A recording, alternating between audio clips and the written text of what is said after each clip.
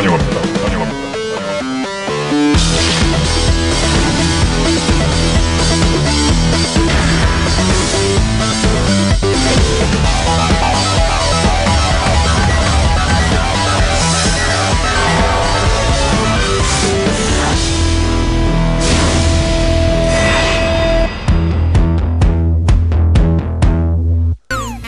이상민 씨는 그 얘기를 했었어요.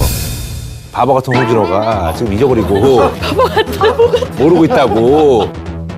간획도 못 받고 사람도 잃고 참 진짜 홍진호 씨. 무시하는 거예요 지금? 좀 무시하고 싶어. 복수할 거예요? 예? 떨어지고 울지 않기? 진짜? 울지 않기?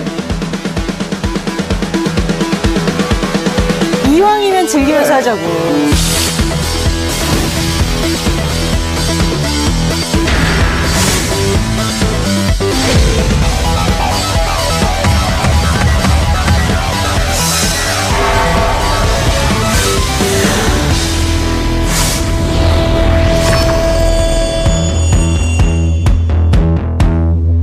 나는 이, 이 상황을 즐기는 거예요. 이렇게도 즐겨보고 저렇게도 즐겨보고 싶어서 그러면은 오늘 그 정의의 상징이 한번 돼보세요. 정의의 상징이요? 네, 오늘.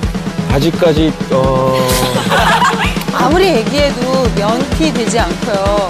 고해성사 그런 거 없습니다. 열심히 살고 싶어요.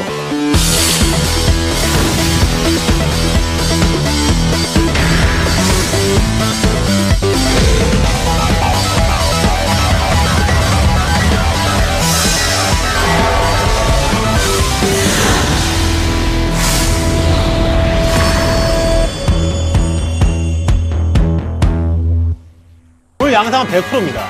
친 김구라파, 반 김구라파 딱 나눌 겁니다. 100%예요. 친구 방구?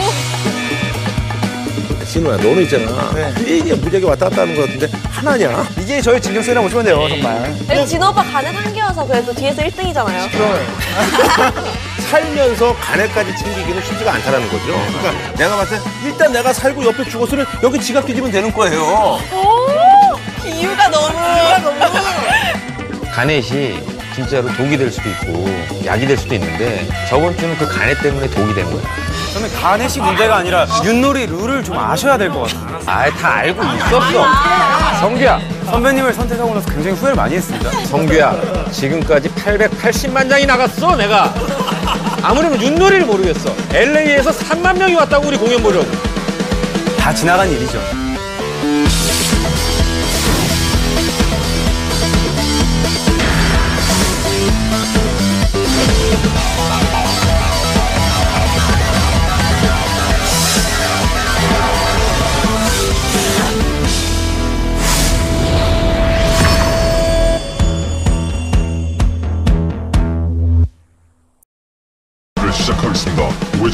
5회전 메인 매치는 사기 경마 게임입니다. 네? 사기 경마? 경마인데 왜 사기야?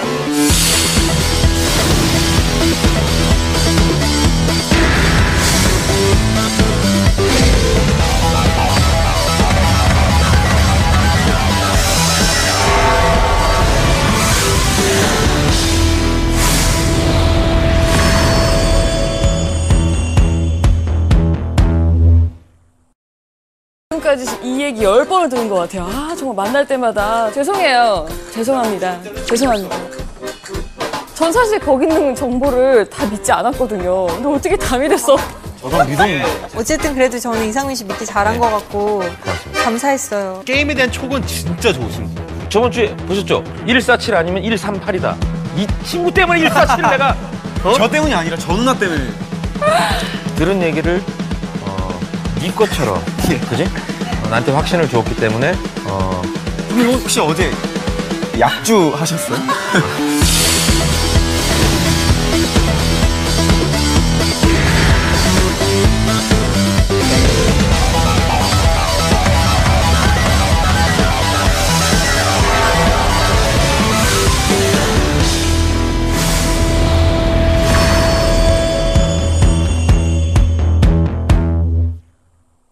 적이 많아진 것 같아요. 아, 근데 지난주에 왜 구라 오빠랑 death 게임 했어요?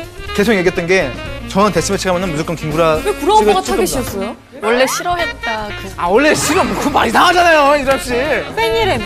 네, 풍이 형이랑 그 팬클럽 있잖아요. 같이 팬클럽 했어서 저는 몰랐는데 어쨌든 간에 팬클럽이었더라고요. 아 근데 팬클럽인데 왜 타도 김구라예요? 구라 형님이 풍이 형은 챙겨주는데 나는 안 챙겨주는 거야. 미쳤어. 나는 정말 일편생을 좋아했, 반편생을 바쳤는데 좋아했는데 날 몰라, 몰라주는구나. 여기서 실망했다가 게임을 하면서 느낀 게 구라 전국시대야. 맞아. 근데 그런, 거- 그런 같은 경우는 저 같은 경우는 좀 안 좋아요. 왜냐면은 아, 의견을 못 얘기해. 13명 자체가 개개인의 색깔을 묻어내면서 홍진호 제발 좀 들어보세요! 야, 이런 식이야, 이런 식이야. 야, 야, 너 조용히 해. 야, 너, 야, 너, 너, 넌 조용히 하고 있어. 김구라 씨의 그런 면 때문에 김구라 씨 지금까지 반평생 좋아하셨던 거 아니에요? 정말 좋아하는 사람이 있다가도 같이 살면 또 틀린 느낌이에요. 그게 딱 그런 느낌이더라고요. 같이 사니까 틀려. 아니 타당성이 너무 없었어. 은지 씨가 보기에 타당성 없는 거죠. 제가 보기에는 충분했어요. 충분히 복수하고 싶었어요, 저는. 그래, 맞아. 복수하고 싶었잖아. 어, 화가 났다고! 저는 참 미치겠어. 왜이 여린 팬심을 몰라주는 거예요?